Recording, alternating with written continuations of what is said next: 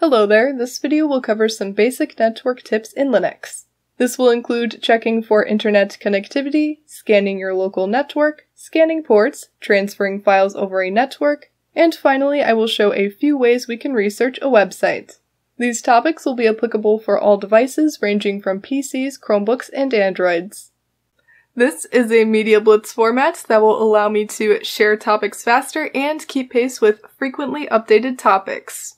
My channel focuses on adding the power of Linux to your Android, Chromebook, or PC without the need to root or remove your system.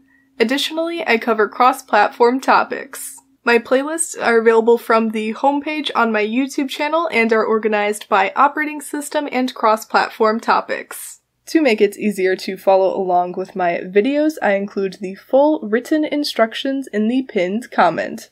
So if you scroll down to the comments of the current video you are watching now, you will see the top pinned comment containing the written instructions. To see the whole comment, click on Read More. Any updates will be noted at the top of the pinned comment. Note that you can copy and paste the notes into a text file like I have here with the mousepad text editor. Or, if you're feeling fancy, we can copy and paste the notes into a TiddlyWiki notebook, also known as Flexible Offline Searchable Notes. Here, I pressed the backtick key from the top left of the keyboard so that there are three backticks before and after the text. This will apply monospaced block formatting. Keep in mind that you can modify the notes however you'd like, whether that's formatting, adding images, or changing what's in the notes. For more information on TiddlyWiki, I recommend watching my TiddlyWiki videos. That concludes the intro, now onward to the video. First, I'm going to give a general idea of how data is transmitted across the internet. On the internet, data is transmitted in packets. Packets use IP addresses and MAC addresses to navigate to the correct device. The device then uses ports to route the data to the correct program slash process. So we can think of an IP address as a street name, which points to the local network, and the MAC address is like the street address, which refers to the device itself. Finally, the port number is kind of like an apartment number, which again is what the device uses to route data to the correct process. Now that we have a general understanding of how data is transmitted through the internet, we can get into the network tips. Here I have listed the installs for the commands we will be using. First we have iputils-ping, which will give us the ping command. After that we have netcat-openbsd, which will give us the nc command. Then from there we have net-tools, which will give us multiple commands that we can use, which for this video we will just be using the ifconfig command. Next we have the iproute2 package, which again has multiple commands, which for our purposes we will just be using the ss command. After that, we have nmap, which will give us the nmap command. Then we have bind9-dnsutils, which will give us the dig command. Then after that, we have whois, which will give us the whois command. Then finally, we have traceroute, which will give us the traceroute command. Now I'm going to show how to check for internet connectivity from a terminal. To see if we are connected to the internet through a terminal, we can execute ping space google.com after we execute the command, if we get a continuous output, then that means we are connected to the internet. To stop the ping, we can do Ctrl C on our keyboard. If there was no continuous output, then that means the device is not connected to the internet. Next, I am going to show how to scan your local network.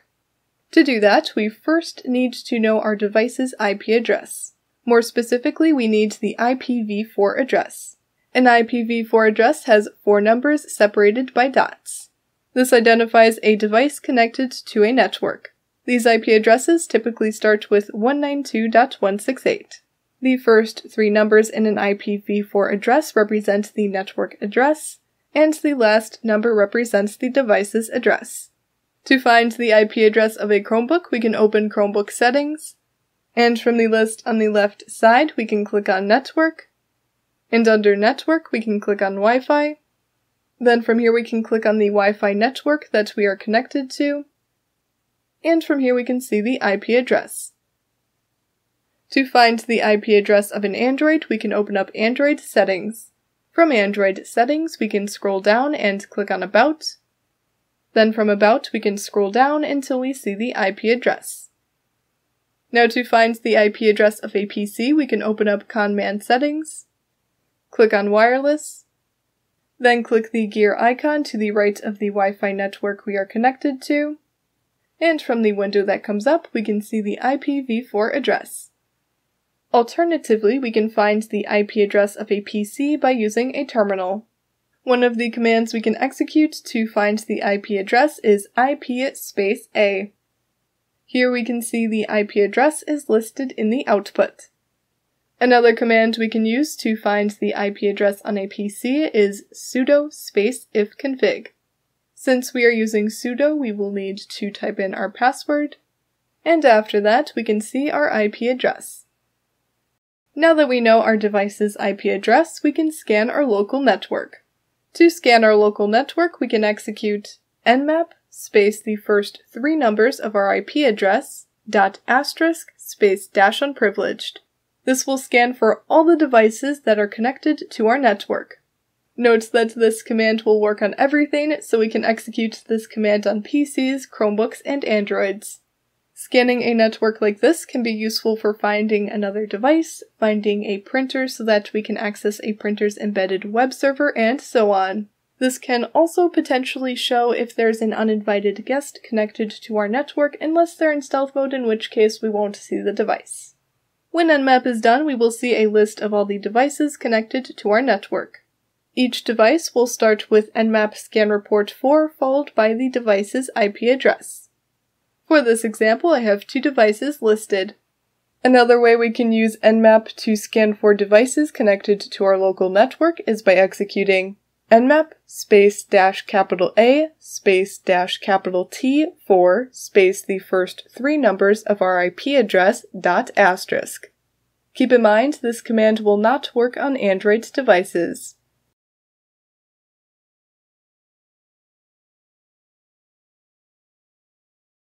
Again, like before, when nmap is done, we will get a list of devices connected to our network.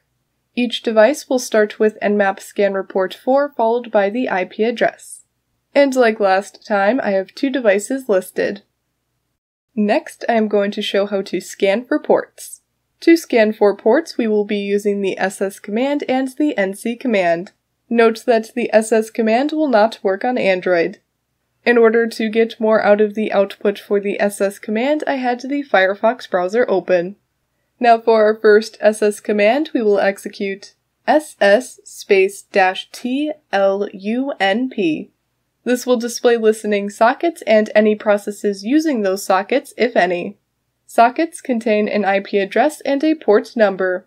Note that each letter after the dash represents an option. For more information, we can execute man space ss. This will give us more detailed documentation for each option. For our next ss command, we will execute ss space dash taunp. This will display connected sockets. After that, for our last ss command, we will execute ss space dash tunp. This command will display established sockets. Another command we can use for scanning ports is the nc command. nc stands for netcat. Note that the netcat command will work on Android. With the netcat command, we can scan the ports on the device we are currently using by executing nc space dash znv space 127.0.0.1 space 1 dash 8080 space 2 greater than symbol ampersand 1 space pipe space grep space cc. 127.0.0.1 represents the device we are using. So this NC command scans the ports 1 to 8080 on the device we are using. Like with the SS command, each of the three letters after the dash represent an option. To get more information about what each option means, we can do man space NC. When the command is done, we will get a list of ports that are listening. Note that the grep command at the end of the line we executed filters through the output of the nc command, so we only get the lines that say the connection succeeded. In addition to this, we can scan the ports from a remote system that is connected to the same network. For this example, I'm going to be scanning the ports from another Chromebook that is connected to the same network. To do that, I'm first going to open port 8080 on the other Chromebook by opening Chromebook settings. And from the list on the left side, I'm going to click on About Chrome OS. Then from About Chrome OS under Developers, I'm going to click on Linux Development Environment. And then I'm going to click on Port Forwarding. From here, I'm going to open port 8080 by clicking on the Add button. Then for the port number, I'm going to type in 8080. And once I've done that, I'm going to click on the Add button. So now port 8080 will be available to other devices that are connected to my network. After that, I'm going to open a terminal in Linux and execute nc space dash l space dash p space 8080. This tells Netcat to listen with port 8080. Now from the device we are using to scan the ports of our remote device, we will execute nc space dash znv space the IP address of the remote device space 1 dash 8080 space 2 greater than ampersand 1 space pipe space grep space cc. This will scan ports 1 through 8080 from the remote device that is connected to the same network. Note this may take a couple of minutes.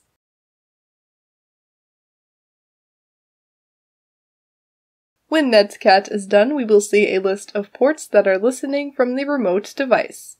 So here we can see the port 8080 I had listening from the remote device is listed in the output. If we want a list of services that are generally associated with ports, we can execute cat space slash etc slash services space pipe space less. To scroll through the list, we can use the up and down arrow keys. Then whenever we are done looking at the list of services that are generally associated with ports, we can press the Q key to exit. Now I'm going to show how to transfer files over a network with the netcat command. For this example, I am going to be sending an image called mypic.png to another device. To send a file to another device that is connected to the same network with Netcat, we first need to let the device that is going to receive the file to expect the file to be sent. To do that, we can execute nc space dash l space dash p space 8080 space greater than space the file name. This will tell the receiving computer to expect a file to be targeted at port 8080, which for my case is mypic.png. For Android devices, I recommend using port 8080. Now from the device that is sending the file, we can execute nc space dash capital N space the IP address of the device that is going to receive the file space 8080 space less than space the file name. This will send the file to port 8080 on the receiving computer. When that's done, we can view the file on the receiving computer. So for my example, I am opening a file manager and I can see my image called mypic.png has been successfully received. Finally, I'm going to cover a few ways that we can research a website or company.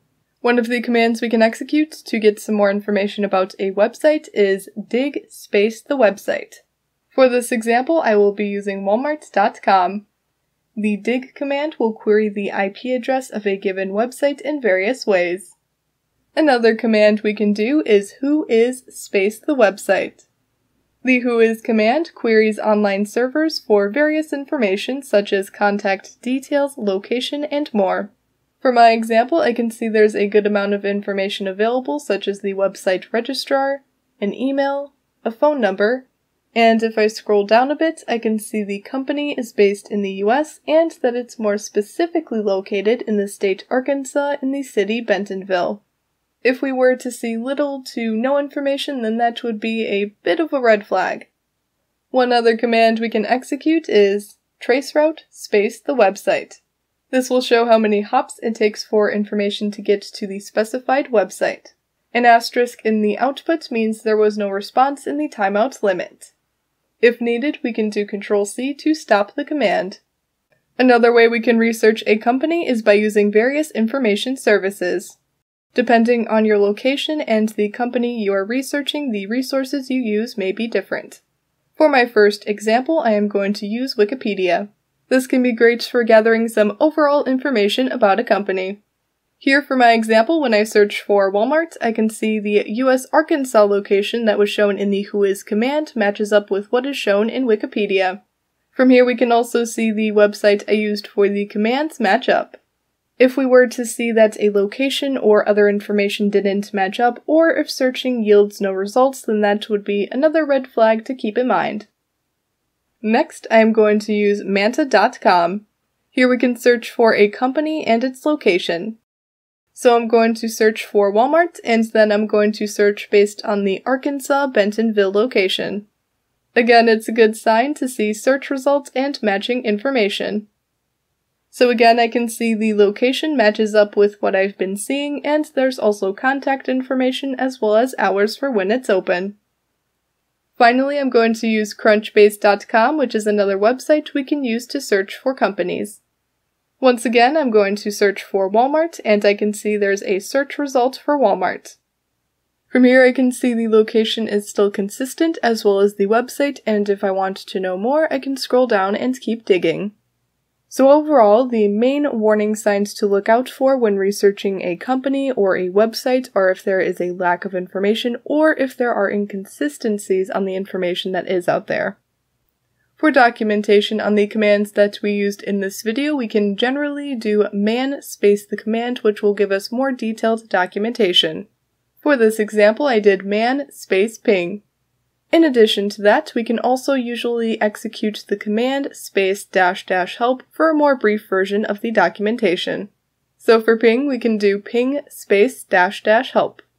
Also, if we want a link to the official website of a specific package, then we can view the package in Synaptic Package Manager. From here, we can usually get a link to an official homepage for the package being viewed. For example, the official homepage link for the ping command takes me to the GitHub page for ping.